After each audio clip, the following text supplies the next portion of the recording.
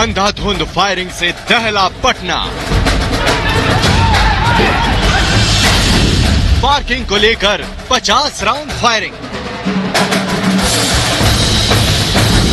गोलीबारी में दो लोगों की मौत, कई घायल।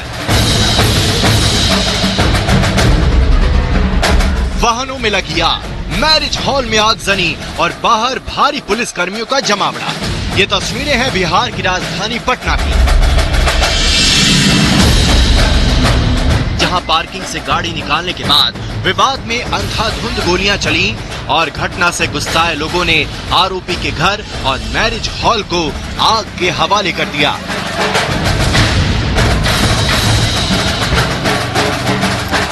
फायरिंग और आगजनी की घटना के बाद इलाके में तनाव के हालात हैं।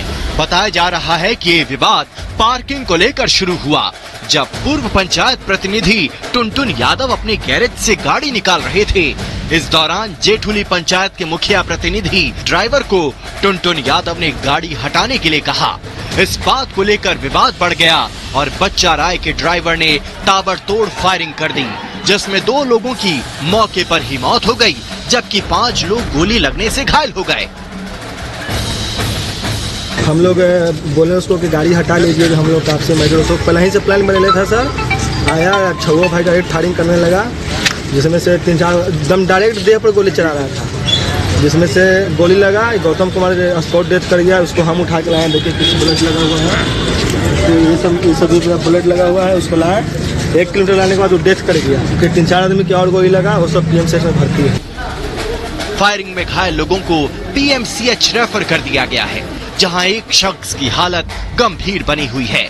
वहीं पुलिस मौके पर है। छानबीन शुरू कर दी गई है। पुलिस का दावा है कि किसी भी आरोपी को बख्शा नहीं जाएगा। जल्द सभी आरोपी कानून के शिकंजे में होंगे।